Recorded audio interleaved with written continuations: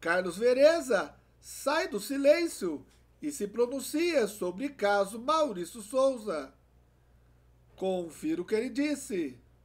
O consagrado ator Carlos Vereza levantou a voz contra o absurdo desligamento do atleta de vôlei profissional Maurício Souza, vítima de cancelamento virtual. Uma modalidade ultra rápida de assassinato de reputações em tempos de redes sociais. O ator nos remete às teorias gramscianas que pregavam o controle dos meios de produção cultural para manutenção do poder. Mas uma sórdida investida da agenda progressista, disse o ator. E você concorda com Carlos Vereza?